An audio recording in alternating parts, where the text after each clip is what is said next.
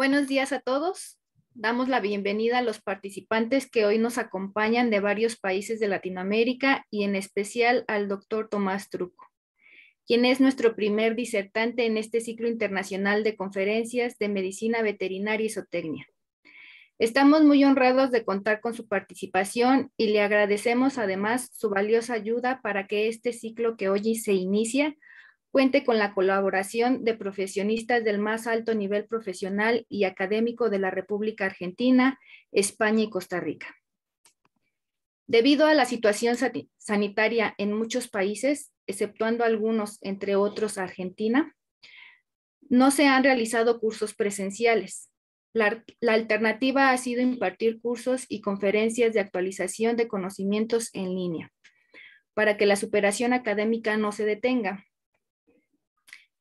en la organización del ciclo participan las universidades de El Salvador, la Benemérita Universidad Autónoma de Puebla, la Universidad Católica de Cuenca y la UNAM, con la idea de, establecer un foro de intercambio de conocimientos y experiencias de la carrera de medicina veterinaria y zootecnia y para estrechar lazos de unión entre los colegas veterinarios y estudiantes de nuestros países latinoamericanos, de Canadá y España. Este ciclo reúne a un destacado grupo de especialistas en clínica, cirugía y zootecnia, quienes exponen su, vasta experiencia teórica y práctica. Esperemos que todos los ponentes que se van a presentar durante este y el próximo año sean de utilidad en su ejercicio profesional. El doctor Tomás Truco es egresado de la Facultad de Ciencias Veterinarias de Esperanza de la Universidad Nacional del Litoral Argentina. Realizó un posgrado de formación en medicina y cirugía de grandes animales en el Hospital Escuela del Colegio de Veterinaria de la Universidad Estatal Ohio en Columbus, Estados Unidos. Ha sido profesor de la asignatura de, de, los bovinos en la Facultad de Ciencias Veterinarias de la Universidad Nacional del Litoral, República de Argentina. Es asesor privado de empresas ganaderas en sistemas de leche y carne. Ha publicado más de 20 artículos y, presentaciones científicas sobre técnicas anestésicas y quirúrgicas en bovinos. Imparte cursos de actualización profesional en diferentes países de Latinoamérica. Ha disertado en el Congreso de la Sociedad Española de Cirugía Veterinaria en Lugo y en el Congreso de la Asociación Española de Medicina bovina en Sevilla. Actualmente investiga en el área de reproducción aplicada en bovinos en el Laboratorio de Biología Celular y Molecular Aplicada del Instituto de Ciencias Veterinarias de la Universidad Nacional del Litoral en la República Argentina. Sin más preámbulo, tiene la palabra el doctor Tomás Truco. Doctor, le damos la bienvenida. Muchas gracias por la presentación. La verdad que para mí es un enorme placer poder estar abriendo este ciclo internacional de conferencias de medicina veterinaria y zootecnia. Agradezco el interés de Irma y de Rafael en aunar esfuerzos en pos del bien de la medicina veterinaria de grandes animales a nivel latinoamericano. Somos conscientes de la realidad de nuestro medio, muchas veces nos limita, pero bueno, es un camino la unión para transformar y poder vencer todos estos escollos está presente y la verdad me, es considerado para mí el padre de la guiatría latinoamericana moderna, el doctor Ramiro Ovalle. Muchas gracias, es una distinción para mí. Y sinceramente esta presentación la debería haber realizado Oscar Perusia, colega, admirado por mí y aparte es mi mentor. Muchas gracias, Oscar. Agradecemos a la Universidad de UNAM por la eh, organización de este evento, como así también la Universidad Católica de Cuenca, la Universidad Autónoma de Puebla y la Universidad del Salvador. El tema elegido es bloqueos anestésicos de interés en la cirugía urogenital bovina. Si bien, como ustedes pueden ver, hace mención a la cirugía, muchos de estos son herramientas válidas a la hora de toma de decisiones desde el punto de vista, de vista diagnóstica y van a ser considerados muy útiles y valiosos por parte del clínico budiatra para desarrollar o llegar a diagnósticos eh, a nivel de campo. Vamos a ver tres eh, aspectos de las mismas. Primero vamos a hacer hincapié en la anestesia. Sí. si puedes compartir tu imagen, por favor, nada más te estamos viendo aquí, no tenemos presentación. A ver, ah, share screen, perdón. ¿Ahí se está viendo? La vemos, sí.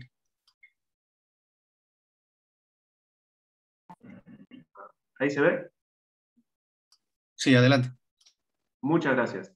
Con respecto al contenido, vamos a hacer eh, mención a una técnica que tiene poca difusión en la bibliografía internacional, la anestesia sacra paravertebral, la cual le hemos dado un nuevo enfoque para que sea útil a la hora de resolver muchos problemas asociados con cuadros inflamatorios que cursan con grave eh, dolor y tenesmo y muchas veces incrementan la tasa recidiva en patologías tales como prolapsos cérvico-vaginales, prolapsos rectales e incluso prolapsos uterinos.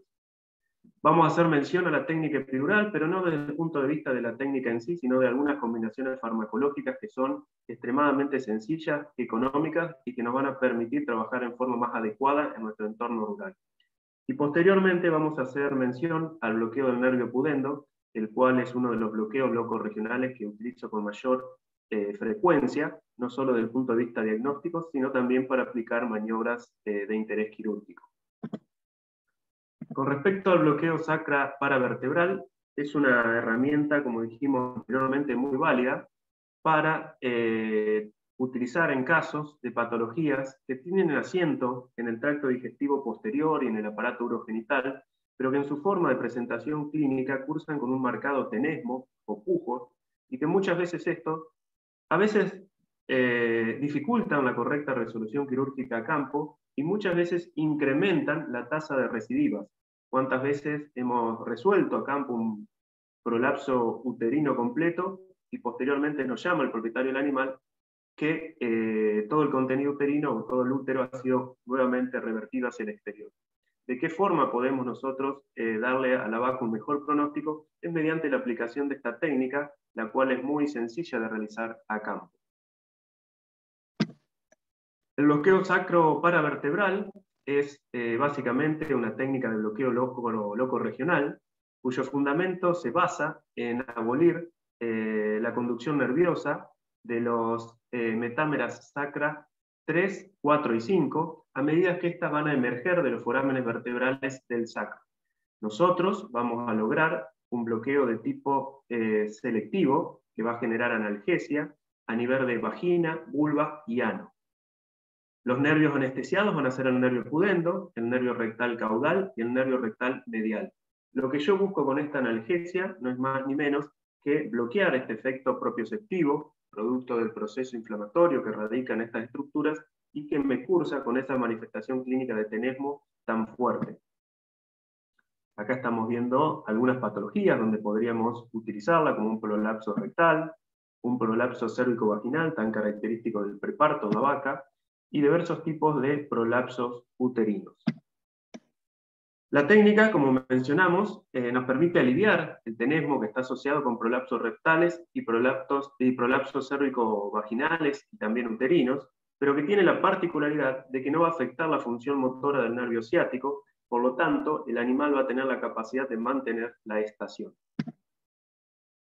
Es importante eh, hacer mención a un recordatorio neuroanatómico de las estructuras nerviosas involucradas, de estas metámeras, los cuales eh, van a emerger a partir de, eh, del hueso sacro a través de sus forámenes vertebrales. Ahora en el siguiente esquema, en este hueso sacro, vemos la disposición de los mismos.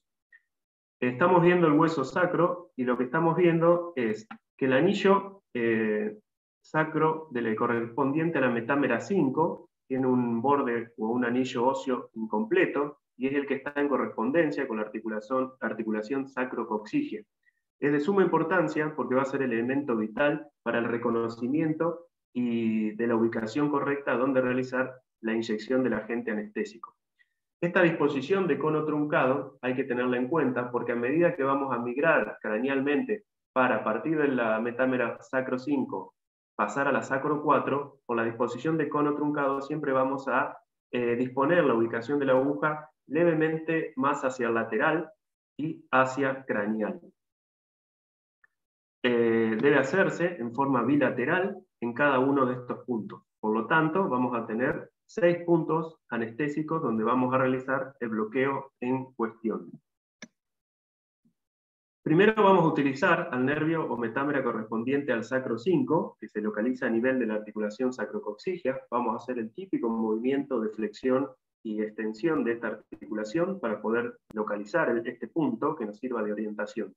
Posteriormente, vamos a eh, movernos eh, un centímetro craneal levemente hacia lateral del eje sagital de la, columna vertebral para eh, encontrar el punto donde nosotros vamos a localizar nuestro agente anestésico.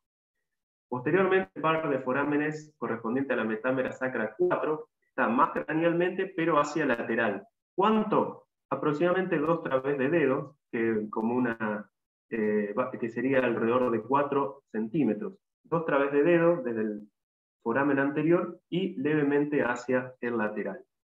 El último par, que se corresponde con los forámenes sacro 3, está situado 4 centímetros por delante del foramen eh, sacro 4. Ahora nosotros vamos a ver cómo es la disposición de la aguja para que ustedes comprendan de qué forma se realiza bajo condiciones de cambio.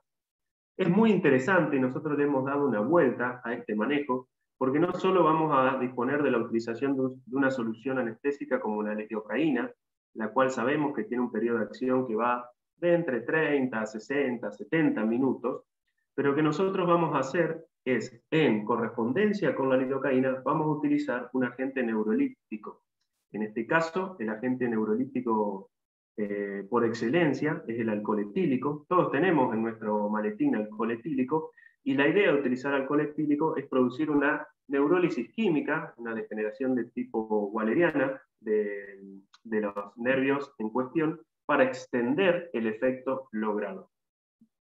Básicamente, como dijimos, son seis puntos. Por punto vamos a introducir 10 centímetros de una solución anestésica que tiene 5 centímetros de lidocaína al 2%, más 5 centímetros de eh, alcohol etílico.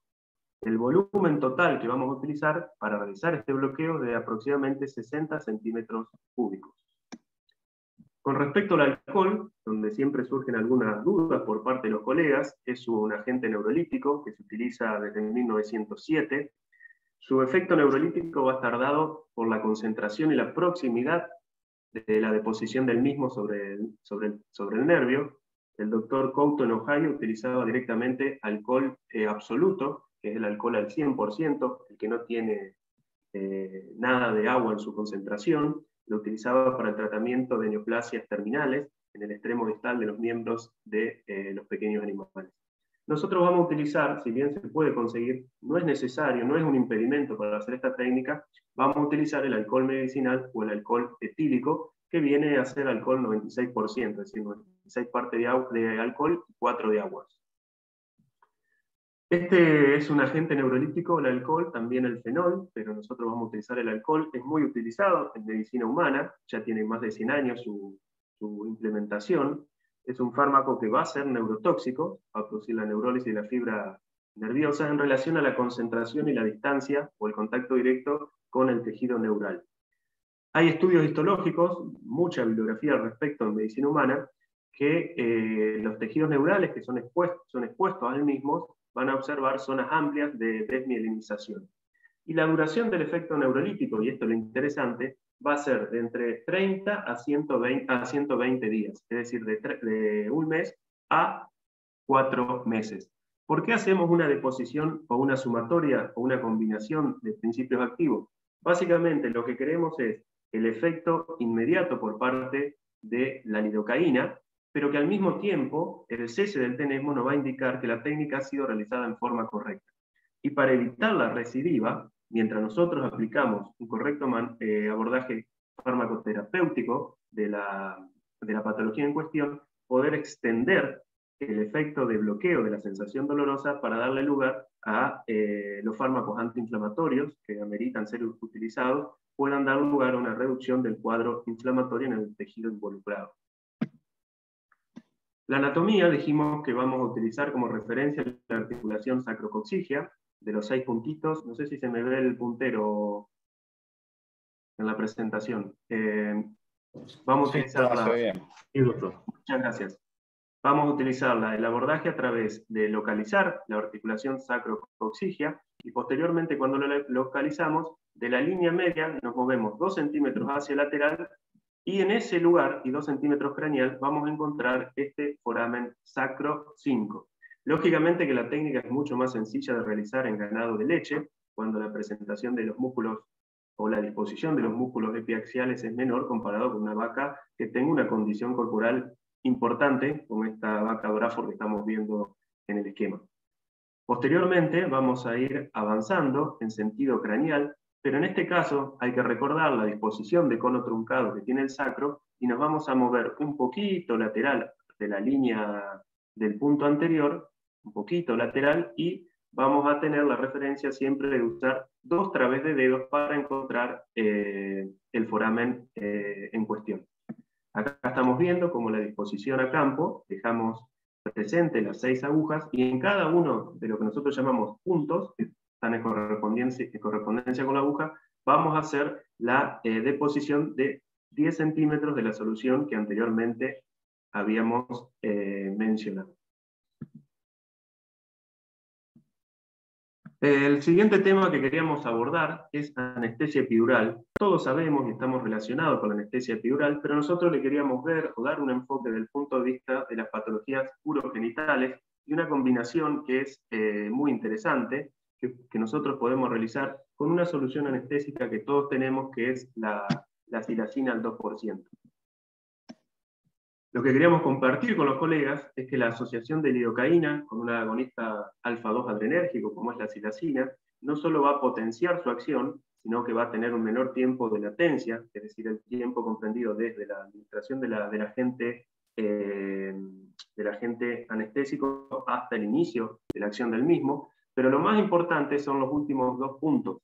Vamos a prolongar y lo vamos a ver en un trabajo muy interesante a continuación, la duración del efecto, vamos a escapar de esos 60 minutos, de esa ventana que nos da la, la lidocaína para revertir la, conducción nerviosa, y vamos a producir analgesia cutánea hasta la, hasta la metámara torácica 13.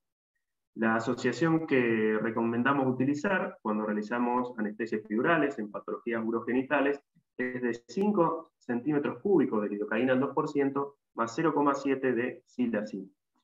Este es el trabajo, que ya tiene casi 20 años, pero que me, interesa que lo tengan en cuenta. Lo que hicieron acá los colegas es comparar el efecto de la lidocaína versus lidocaína asociada con silacina, en eh, los cuales son los efectos sedativos y efectos clínicos de esta asociación para producir analgesia epidural en la vaca. Si bien no encontraron eh, diferencias significativas desde el punto de vista del periodo de latencia, un poquito mayor cuando se utilizaba lidocaína en forma eh, sola, sí lo que me interesa es que vean este tiempo. La combinación de estos dos eh, principios activos, lidocaína y silacina, me permitió a mí generar un cuadro de analgesia por aproximadamente 300 minutos, esto traducido en horas es 5 horas de bienestar que nosotros le vamos a proporcionar, a la vaca, únicamente mediante la adición de 0,7 centímetros cúbicos de silocaína. Va a producir un leve grado de ataxia debido a la utilización de este eh, agonista alfa-2 adrenérgico, el cual es menor, y va a producir también una analgesia cutánea desde el coxis hasta la vértebra torácica 13, que es las primeras metámeras que dan lugar a la inervación cutánea del flanco. Otro dato interesante, a partir de artículos que vimos recientemente, que son importantes eh, de tener en cuenta, y sobre todo para los colegas eh, a nivel de campo, es que muchas veces las técnicas que nos permiten saber la ubicación correcta de la aguja en el espacio subdural se basan en lo que se denomina técnica de la gota, es decir, la presencia de un efecto negativo que va a generar la succión de la gota en el cono de nuestra aguja. Muchas veces eh, esto no sucedía o no sucede, y ahora vamos a eh, demostrarles o comentarles por qué, y nosotros nos valemos directamente de la segunda eh, característica para, para saber si es correcta la ubicación, que es la falta o la ausencia absoluta de resistencia cuando eh, hacemos la inyección y aplicamos el agente anestésico. Ahí estamos viendo una anestesia epidural eh, lumbosacra en un ternerito y acá una anestesia eh, también lumbosacra en una vaca que tiene prolapso uterino. Lo que queríamos contar es este trabajo muy interesante que viene de la Universidad de Ujiro en Japón, donde ellos estudiaron, este grupo de investigación que trabaja mucho en analgesia a nivel epidural en bovinos, algo que muchas veces habíamos dado por cierto, lo tomábamos como válido, pero ellos pudieron eh, romper de alguna forma con este paradigma, paradigma que era cuáles eran las presiones que tenía el espacio epidural. Eh, podríamos decir que salimos, de nuestra formación de grado pensando que el espacio epidural tiene una presión negativa y que la misma se, se mantiene constante. Sin embargo, esto es totalmente falso, no es válido. Lo que estos autores pudieron determinar, y acá estamos viendo el cuadro, es que la presión negativa en un animal en estación está comprendida entre menos 10 a menos 15 milímetros de mercurio, que oscila con la respiración, que tiene fluctuaciones cada vez que el animal patea, pero que a su vez, cuando intervienen algunos músculos abdominales fuertes, como la prensa abdominal, durante la defecación, esta presión es, no solo deja de ser positiva, sino que es ampliamente eh, positiva. ¿Para qué me sirve a mí desde el punto de vista clínico y por qué queremos transmitir esto a los colegas? Porque muchas veces cuando realizamos técnicas anestesia epidural no encontramos esa famosa gota eh, o efecto negativo que da succión a la gota. Y esto lo vamos a ver acá y explica perfectamente por qué sucede. Voy a adelantar una, una diapositiva. Lo que los autores encontraron es que la presión epidural lumbar es negativa siempre y cuando el animal se encuentre en estación y que esto va a estar dado por el peso que tienen las vísceras abdominales y la presión hidrostática de la sangre venosa a nivel eh, postural. Sin embargo, cuando el animal está en decúbito external o en decúbito lateral, la, presión no solo que no es negativa, sino que muchas veces se vuelve positiva. Esto es muy importante porque los colegas, como mostré la foto anteriormente, que a veces hacemos anestesias epidurales, eh, sacrocoxigias o lumbosacras, con el animal en decúbito external, muchas veces no nos encontramos con esa eh, succión de la gota y nos hace pensar que estaríamos en un lugar incorrecto frente a la deposición de nuestro agente anestésico. También esta falta de presión a nivel de, presión negativa a nivel epidural se correlaciona con una menor migración craneal de nuestro agente anestésico, o que es muy importante la misma para eh, favorecer la distribución anterior del agente anestésico a través del espacio epidural. Es de menester hacer mención a un error muy común que presentan muchos colegas, que es la presión a la cual se somete la administración del agente anestésico, que muchas veces es de una eh, rapidez tal que impide la correcta migración craneal de los mismos, aumenta mucho la presión a nivel eh, epidural y forza al agente anestésico a salir por los forámenes sacros, perdón, forámenes vertebrales, sacros en este caso, más eh, proximales. Es decir, logra un pequeño avance en virtud de que genera una técnica con en muy poco tiempo. Recomendamos, cuando realizamos la técnica, ejercer un efecto mínimo y ese volumen de casi 6 centímetros cúbicos, realizarlo en un periodo de lapso comprendido entre 10 a 20 segundos. Fíjense en acá, los autores lo que hicieron fue, compararon o eh, cómo se relacionan dos variables, en este caso la presión epidural con la edad de los animales.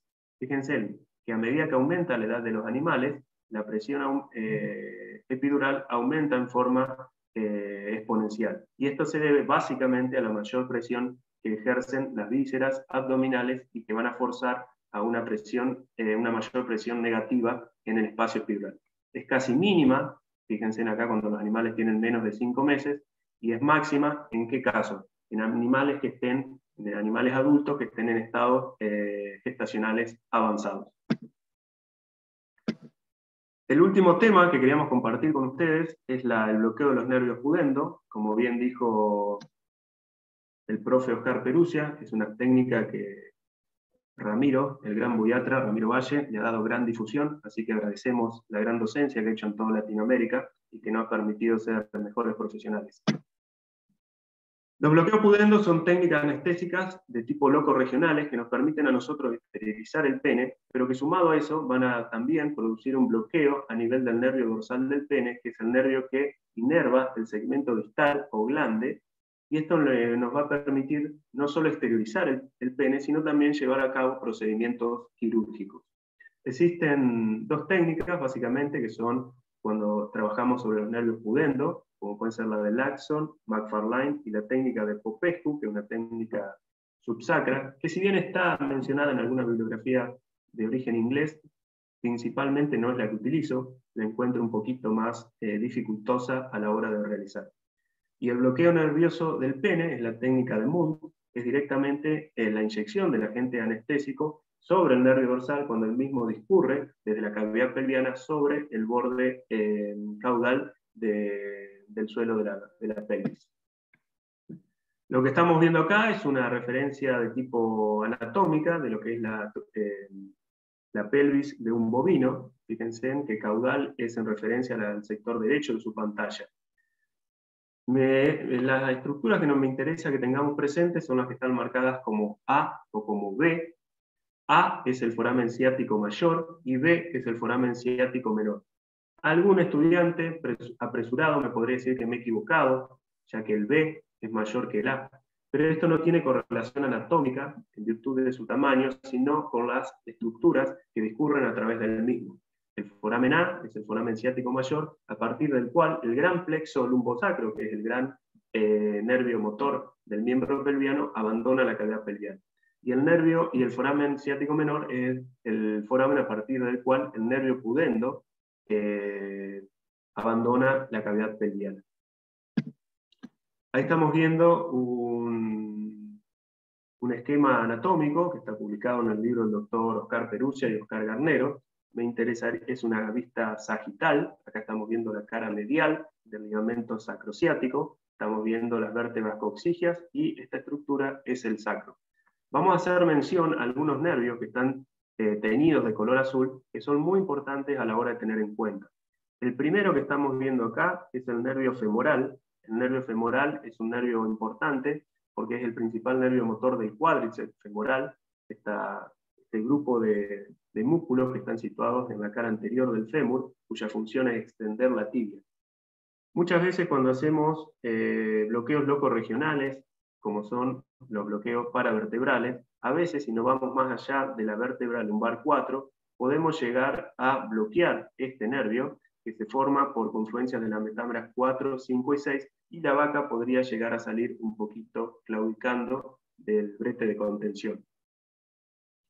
El nervio que le sigue es el nervio obturador, que es un nervio muy importante, ya que es un nervio que está muy expuesto al trauma. Fíjense, en esto que va a servir de referencia para los colegas, vamos a abordar un poquito, abandonar un poquito el tema de cirugía urogenital, pero es un nervio, posiblemente uno de los nervios que más exposición al trauma tiene, debido a que tiene la mala suerte de discurrir por el piso de la pelvis, una estructura sólida, para llegar a los forámenes obturadores y posteriormente inervar los músculos eh, mediales eh, del muslo.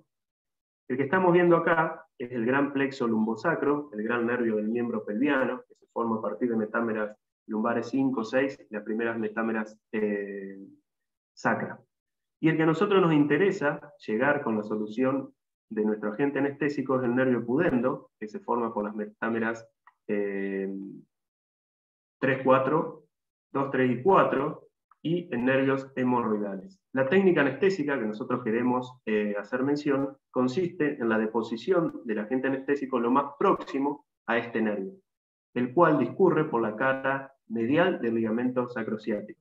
Este preparado anatómico es muy importante, acá estamos viendo el nervio el plexo lumbosacro, posteriormente estamos viendo el que habíamos hecho mención, que es el nervio obturador, fíjense en cómo, cómo está sobre el dispuesto, la cara medial de, de la base de la cadera, totalmente expuesto al trauma, y acá estamos viendo el nervio pudendo y el nervio hemorroidal caudal con una arteria y una vena, que, que son los vasos sanguíneos homónimos, y que son de mucha importancia a la hora de localizar el nervio, porque nosotros vamos a poder palpar el frémito, es decir, esta sensación palpable que producen eh, los mismos.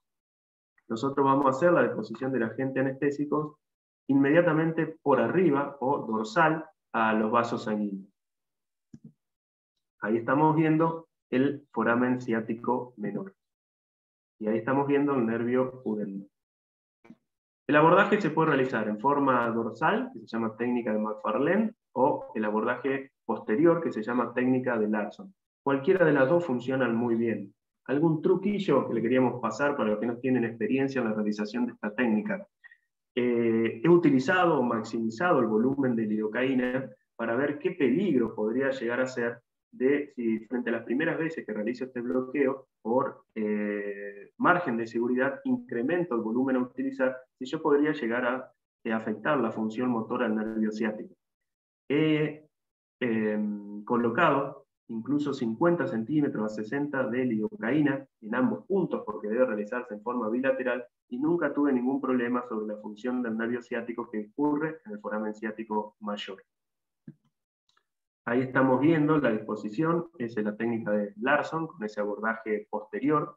Nosotros vamos a, introducir nuestra mano por el recto, vamos a localizar el foramen, es muy sencillo, es muy sencillo, los invito a que lo hagan, eh, incluso en, las vacas, cuando realizan exámenes ginecológicos o de índole reproductivo, para relacionarse. Van a ver que ah, tienen que girar levemente su mano y enseguida, sin necesidad de ingresar más allá de la muñeca, van a encontrar lo primero que la primera referencia es el frémito de los vasos pudendo. Posteriormente, si discurren en los mismos, van a encontrar el foramen ciático mayor. La localización del nervio pudendo, otro truco para compartir. Cuanto más grande sea el tamaño del animal, más sencilla su, su localización. Si les toca un charolé, que puede llegar a ser de 900 kilos, el mismo tiene casi 5 milímetros de, eh, de ancho. O sea que es muy, muy, muy, muy sencillo. El bloqueo del nervio pudendo produce un efecto que va a ser la relajación de, los músculos retractores del pene, los cuales estaban sometidos por impulso del sistema neurovegetativo a una contracción continua de los mismos. Las características eh, anatómicas del pene bovino, que se clasifica como un pene fibroelástico con cuerpos cavernosos que están completamente cubiertos o, eh, con gran densidad de fibros colágenos, hacen que la erección no sea expensa de una presurización muy grande de las cámaras que permitan el crecimiento y la erección del pene, sino que se hace a partir de la relajación de estas estructuras que están bajo control eh, neurovegetativo. Se refleja la mucosa del prepucio y posteriormente nosotros podemos tomar el pene con la ayuda de una venda de cambric o de una pinza de bacao. En el siguiente video vamos a ver cómo se realiza la exteriorización del pene. Este es un animal que ha sido bloqueado, totalmente insensible, y nosotros podemos realizar procedimientos de tipo diagnóstico, yo lo utilizo un montón para realizar procedimientos diagnósticos, como así también diversas cirugías, las cuales vamos a mencionar, pero que no son el, objetivo destacado. Ahí lo que estoy tocando es el ligamento apical, que es esta condensación de la túnica albuginia, que permite que un pene tan largo de tipo fibroelástico mantenga la erección durante el coito. Es en ese punto donde nosotros aplicamos las pinzas de campo o pinza bacao para eh, realizar diversos procedimientos quirúrgicos. Este aspecto, este, este enfoque se lo quería compartir, está publicado en el libro de Rogelio Ravelo, un buiatra excelente del norte de, de Brasil. Es muy interesante para que nosotros veamos. Lo que está marcado en amarillo es el nervio pudendo, que posteriormente da su rama terminal que es el nervio dorsal del, pene, que acompaña también todos los vasos sanguíneos y que termina inervando el glande. Pero lo que yo quiero ver, o que quería compartir con ustedes, es que quiero que vean cuál es la inervación que recibe el prepucio, sobre todo para los colegas que están en Centroamérica y en, el norte de, América del Sur, que es común realizar procedimientos quirúrgicos en caso de afecciones traumáticas del prepucio en animales, principalmente Bos indicus. Fíjense, desde el punto de vista neuroanatómico, el prepucio no se correlaciona con el sistema urogenital en los bovinos, sino que es una estructura que está totalmente asociada a la inervación cutánea del flanco. Pregunta, ¿cuál sería la inervación cutánea del prepucio? Metámera torácica 13, lumbar 1 y lumbar 2. Por eso es muy importante tener presente este eh, aspecto neuroanatómico, ya que a la hora de realizar procedimientos quirúrgicos amerita eh, la utilización de un bloqueo en forma subcutánea inmediatamente proximal al área de lesión. La técnica de Larson que vamos a ver en este video, nosotros vamos a ingresar con nuestra mano, fíjense ingresamos la mano en el recto, en forma no más allá de la muñeca, localizamos el, el foramen, hacemos leves movimientos oscilatorios que se reflejan sobre la piel, y en ese punto ingresamos a través de la fosa rectal o inmediatamente craneal en la misma y vamos guiando la aguja desde el exterior para intentar localizarlas en el, en, el, en el, interior de la cavidad pelviana, tocando donde está la punta de la aguja en proximidad con el nervio. En ese punto vamos a localizar, a utilizar y administrar 20 centímetros cúbicos de lidocaína. Pero vuelvo a lo mismo, si nunca han realizado la técnica, pueden incluso irse hasta 40 centímetros de lidocaína, 50, sin tener ningún tipo de problema. Para realizar el bloqueo, recuerden, debemos realizar la técnica en ambos lados de la línea media. Es un bloqueo bilateral para que pueda llevarse a cabo en forma efectiva. Acá estamos viendo la técnica de Max Farlén, este es un colega español de Andalucía, un toro charolá, charolé, que tenía un problema de descarga cero sanguinolenta postcoital, y lo utilizamos no como, como una herramienta muy valiosa a la hora de emitir un diagnóstico patológico. Lo que tenía este animal era un absceso con cierto trastorno en el grado de cicatrización, y cada vez que estas fascias telescópicas del prepucio, la mucosa interna, era sometida a las grandes tensiones del, de la erección, se generaban pequeñas úlceras o erosiones que conllevaban a la presencia de, sangre. Eh, pudimos emitir un diagnóstico, saber cuál era el problema, instaurar un tratamiento y el animal pudo, sin ningún tipo de inconvenientes, cuidado que merita, recuperar la, la función reproductiva. Acá estamos utilizando este mismo bloqueo para realizar algunos procedimientos quirúrgicos, en este caso es eh, técnicas que buscan fortalecer el ligamento apical frente a situaciones donde el animal presenta desvío prematuro y en espiral del pene. Acá estamos viendo también misma técnica lóculo-regional, que siempre vamos a complementar con pseudonalgesia sistémica para realizar un procedimiento quirúrgico, en este caso es eh, la persistencia del rafe medio de, la unión mucocutánea del pene con el prepucio en un, en un toro en este caso La presencia de neoplasias es muy común de observar, tanto en animales jóvenes como en animales adultos, una cirugía que el pediatra puede hacer en forma eh, muy profesional, mediante la, utilización de este bloqueo loco regional, complementado con sedación moderada a nivel eh, general. Fíjense, eh, es un procedimiento sencillo, básicamente lo que hacemos es el bloqueo y posteriormente la incisión en forma de hoja lanceolada alrededor de la neoplasia y posteriormente suturamos siempre utilizando una sutura de tipo absorbente. Este es el toro de andaluz que le había indicado, que lo utilizamos porque había una consulta por parte del propietario, o sea, el profesional, por esa descarga cero sanguinolenta que, que presentaba el mismo. A veces también tenemos otro tipo de patologías que se presentan, como estas lesiones traumáticas del pene, también utilizamos para realizar y hacer la inspección del mismo este bloqueo loco regional.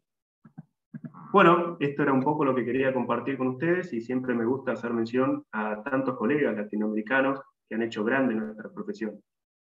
Este libro llegó a mí en el 2004, el doctor Mario Monroy, profesor de la Universidad de San Carlos en Guatemala. La verdad que demuestra claramente que este pequeño país de Centroamérica puede dar lugar a gran bibliografía y dar muchos datos a la hora de formarnos profesionalmente. Es un libro que atesoro un montón eh, y vaya mi reconocimiento al doctor Mario Monroy. El libro de mis profes, mis mentores, mi admirado Oscar y Garner y Perusia. Otro libro uruguayo que le tengo un enorme cariño, un gran cirujano que siempre trabajó sobre cirugías urogenitales de, de los bovinos, Luis Queirolo Monteverde, un libro excelente. Y el libro de Rafael y Irma también, que han hecho mucha escuela y siguen, tienen mucho para aportar y generar a la hora de transmitir a los colegas y hacer más profesional esta hermosa profesión. Así que bueno, muchas gracias y ahora estoy abierto a, las preguntas que ustedes me hagan.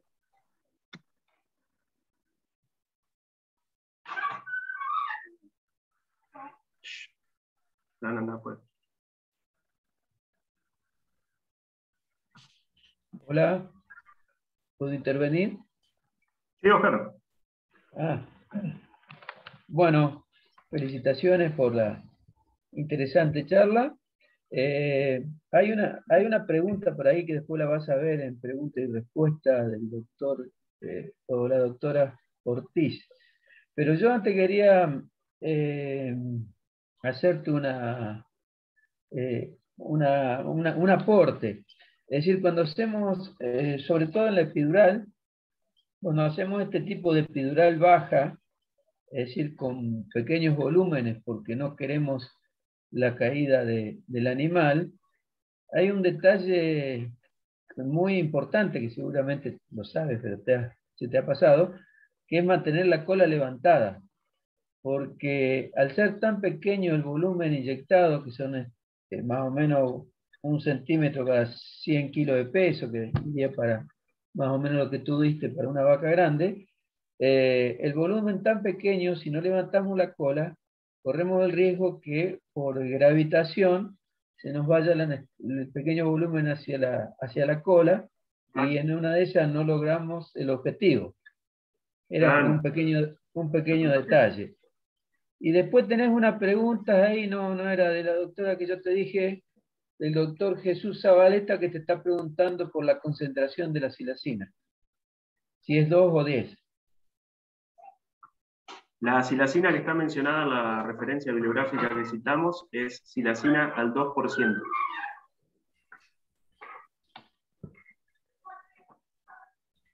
Muchas gracias, eh, doctor Tomás.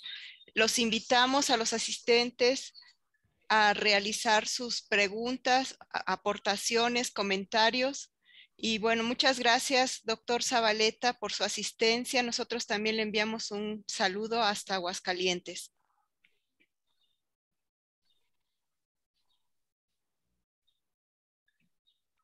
Tomás, eh, ah. ¿le puedo hacer una consulta? Sí, cómo no. Tomás, eh, cuando haces el bloqueo, eh, según la técnica de Marfalán, eh, ¿atravesás con, la aguja, digamos, el ligamento sacrociático o vas directamente al foramen?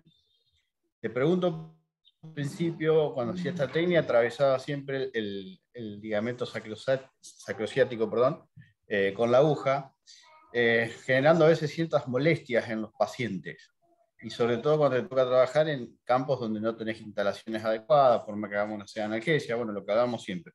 Sobre todo cuando trabajamos con toros, que sabemos que suelen ser a veces difíciles de manejar.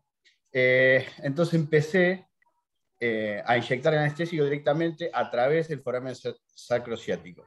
Quizás utilizando un volumen un poquito mayor, pero tengo buenos resultados. Quería saber eh, cómo lo haces vos, Tomás, y qué, qué me puedes aportar al respecto.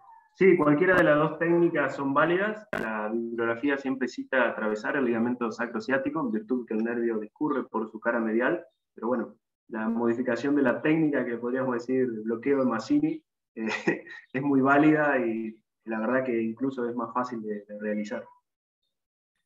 Sí, incluso eh, se facilita porque, bueno, uno tocas la punta de la aguja, ¿no es cierto? Eh, y me pasaba a veces en, esos campos, digamos, con los toros donde no tenés buenas instalaciones, que hoy en una reacción dolorosa y bueno, por ahí toros en buen estado, terminan doblando la aguja. Entonces, bueno, opté por eso y, me parece, no sé, una buena alternativa. Sí, sí, siempre, siempre tenemos el riesgo, digamos, de pulsar el nervio, no va a pasar absolutamente nada más que comernos alguna patadita fuerte pero bueno, es importante también eh, dirigir la aguja, es relativamente sencilla de realizar la técnica, pero bueno, siempre, como dijimos al inicio, las condiciones de trabajo a veces no son las mejores y bueno, tener el recaudo de hacer el bloqueo con las modificaciones que, que vos recomendás es extremadamente válido. Doctor, este, ¿puedo hacer un... ¿Me permite? Adelante, doctor Ovalle. Allá. Por favor. Este, em, haciendo una comparación entre los dos procedimientos, el de, el de Larson y el otro, este, hemos hecho este, las dos y pienso yo este, que el procedimiento de Larson es menos riesgoso para el animal y da una mejor este, este, pérdida de la motilidad y sensibilidad al pene. Porque introduciendo la mano por el recto, podemos guiar la aguja directamente hacia el pudendo y retirándola, los que se llamaban antes hemorroidales caudales e inclusive el, la rama cutánea femoral. Cosa que con el procedimiento de Mafarlane es un poco más este, complicado eso. No se puede hacer en su totalidad. Y si queremos una buena anestesia y relajación del, del pene, todos estos nervios deben ser este, este, este, este bloqueados. Y la otra este, aporte que podríamos dar a la excelente exposición del doctor Truco es de que para reducir al máximo la posibilidad de lesionar o, de pulsar el recto del larzo, aguja debe ir bien pegada a la cara interna del ligamento sacrotuberal. Por otro lado, este, habría que, hacer una diferenciación clínica, ¿no? El uso que se le va a dar a la anestesia epidural. En el caso de un prolapso de útero, inclusive ya actualmente no se usan puntos en la vulva, porque la condición para que no haya recidiva es de que estemos absolutamente seguros de hasta el extremo último del cuerno haya vuelto a la normalidad.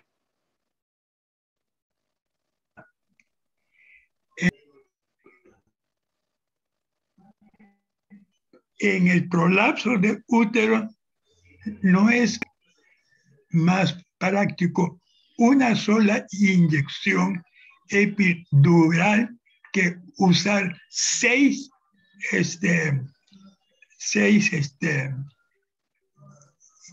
inyecciones, porque con la anestesia epidural más los otros tratamientos que, que se hacen para la corrección del prolapso de útero no es suficiente. ¿Para qué usar seis este, inyecciones? Lo considero como, como una, un aporte a la clínica, a la ciencia. Es un trabajo excelente pero trasladándolo a la vida práctica. Con una no conseguimos este, el efecto que queremos, siempre y cuando, para evitar la recidiva, estemos totalmente seguros que todo el cuerno ha sido vuelto a la normalidad. Esos, esos son los aportes que puedo hacer a la magnífica investigación y exposición del doctor. Muchas gracias, doctor Ramiro Valle. Eh, enseguida le damos la palabra, doctor Oscar. Vamos a leer eh, unas preguntas que tenemos en el chat y existe la inquietud acerca del calibre que se pueden utilizar en las diferentes técnicas. Esto nos lo pregunta el doctor Luis Álvarez de aquí de México, eh, la doctora Maya Armando y también el doctor Fabricio Arcos. Es el calibre de las agujas. Sí, doctor. Ah, el calibre de las agujas. Y generalmente utilizamos las agujas, las 18G, la cono rosado. Son 1,2 décimas de diámetro, 1,2 milímetros, décimas de milímetro de diámetro de área de sección.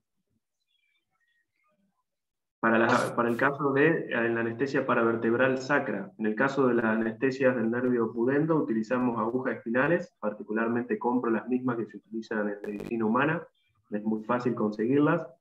Hemos tenido algunas agujas un poquito más extensas, de mayor longitud, que utilizamos por ahí en animales de mayor envergadura, pero en líneas generales, para lo que es eh, animales de tamaño que no supere los 600, 700 kilos, con estas agujas espinales vamos a andar muy bien. Muchas gracias, doctor. También eh, preguntan que si la combinación de alcohol etílico y lidocaína como anestésico no le generaría alguna molestia al animal cuando se aplica por las propiedades antisépticas del alcohol. Eh, más que las propiedades antisépticas son las propiedades químicas que tiene este principio activo que actúa desnaturalizando lipoproteínas y mucopolisacáridos que van a estar recubriendo los nervios. Siempre vamos a hacer, digamos, un pro y contra. La utilización de la anestesia sacra paravertebral no es de rutina en procedimientos eh, obstétricos. Únicamente lo utilizo frente a casos donde el animal cursa clínicamente con un grado de tenesmo que yo puedo estimar que va a llevar a un tipo de recidiva del proceso. Y como no tengo herramientas que me permitan reducir, por ejemplo, ¿cuáles serían esas herramientas? Frente a la ausencia de respuesta a una anestesia de tipo epidural baja, ya puedo tener en base a mi experiencia algún temor de que a pesar de hacer la técnica, ya sea de fijación interna o fijación externa, en el caso de un prolapso vaginal o un crino, voy a tener una alta tasa de recidivo. Únicamente en esos casos y como una herramienta más que puede llegar a tener una tasa de éxito que ronda el 70%, no es absoluta, pero bueno, me puedo ahorrar siete llamados a las 10 de la noche de que la vaca nuevamente ha revertido las estructuras genitales. Gracias, doctor. También nos preguntan si la aguja debe topar con el nervio o llegar lo más próximo, pero nunca tocarlo. ¿Qué, es lo más recomendable? No, lo más recomendable es eh, llegar lo más próximo al mismo, pero siempre vamos a trabajar con volúmenes de solución anestésica muy grandes. Digamos, cuando nosotros atravesamos el ligamento, colocamos la solución anestésica al mismo tiempo, vamos a masajear para favorecer la distribución del agente anestésico, tanto en sentido posterior y anterior a donde nosotros hagamos la deposición de, del fármaco. Esto nos va a permitir también llegar un poquito más a los nervios hemorroidales que por ahí son más eh, complicados.